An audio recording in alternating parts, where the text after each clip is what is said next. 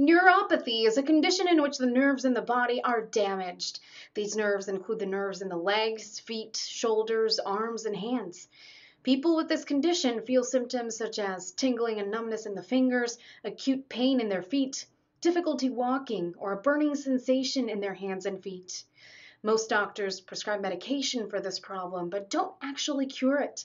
The medications only numb the symptoms and also may cause side effects. In our clinic, we offer a natural and effective way to combat neuropathy without harmful drugs or surgery treatments. If you're suffering from pain in the fingers and toes, it's important to get medical attention. In our clinic, we help eliminate pain naturally.